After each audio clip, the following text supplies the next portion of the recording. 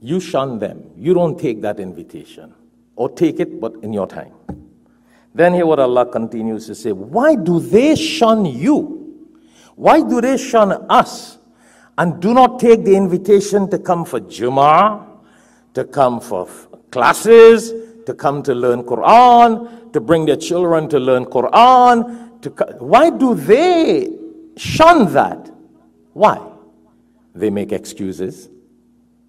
Right? He said, brother, I don't see you. What's good?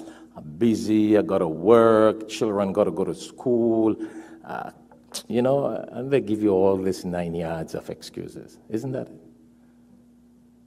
I live far. Yeah, we don't live far if you have to go to Disney World. You don't live far if you have to go to see a Miami Heat game. You don't live far if you have to go to the stadium all up till midnight to look at a game. No, no. Coming to the masjid, we live far. Wow, what is that? So the excuses sounds interesting, but it's not real. That's what you call fake. But hear what Allah says. Why do people make these excuses? And why do they shun your invitation? Why do they shun when we give them the message of the Quran and the Sunnah and they don't practice that, they don't follow that, they ignore that, they think it's a joke? Huh? Allah says, وَلَمْ يُرِدْ إِلَّا الْحَيَاةَ الدُّنْيَا Allahu Akbar. So beautiful.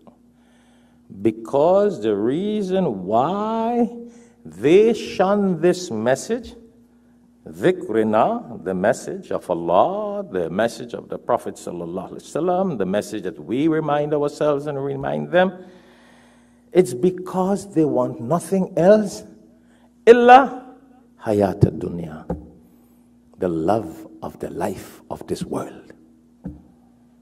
Samajh kya? It's right here. It's not me saying that. Don't go say, oh, Sheikh Shafayat said that. And then you start hating me for nothing Don't worry, if you hate me, it doesn't mean Allah hate me. Okay? Always remember that. If you hate somebody for something good they do, it does not mean Allah hates that person. Because you should love people that Allah loves and hate things that Allah does not like. So if it's a good message from Allah, we need to love that message. Allah is making it very clear. وَلَمْ يُرِدْ إِلَّا الْحَيَاةِ الدُّنْيَا they shun your invitation to Allah, to the masjid, to the dhikr of Allah, to the halqa, to the Quran, anything, the da'wah, the deen, everything fi Allah. They got an excuse. They're very intelligent. They will not tell you, I don't want to listen to what you say. They'll give you a beautiful excuse. You ask everybody. Isn't that so, Brother Shamir? I'm sure you have family and friends. Say, brother, Nothing to be embarrassed about. This is very Islamic. Brother, I don't see you bringing the kids to classes. They got classes at that time. They got to do their homework. Because their love for that dunya is more important. They don't think that we can die tomorrow. Our children can die tomorrow. What have we prepared them with for the life hereafter? They don't think that. They're all about, we live for this dunya. We all live for this hayat dunya, the life of this dunya. So they make all the dunya excuses and they shun the message of Allah. So Allah gives us hope. Allah gives us that hope and courage. You don't worry about that. Don't feel like a misfit. Actually, you shun them. Nobody is saying curse them. Nobody is saying be the enemy. Nobody is saying abuse anybody. You just, you know what? And I always have the problem when we have classes sometimes. You don't see Brother Abdullah. I say, Brother Abdullah, I didn't see you for class. Well, I had guests. You mean you made your guests take you away from your lifestyle? Why didn't you bring your guest? Guest? I guess that's a wrong excuse. What kind of stupid excuse is that?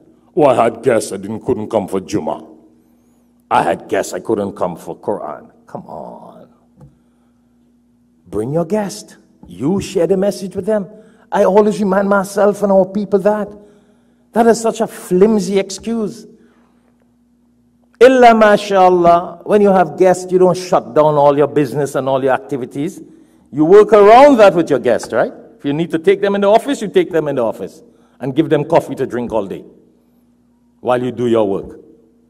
Masjid, Allah, Islam, we have guests, children got to go to school. Go, oh my, I mean, if you're traveling, you got to go. Well, you're not there. But that does not make sense. Let them respect your lifestyle. Let them respect your deen.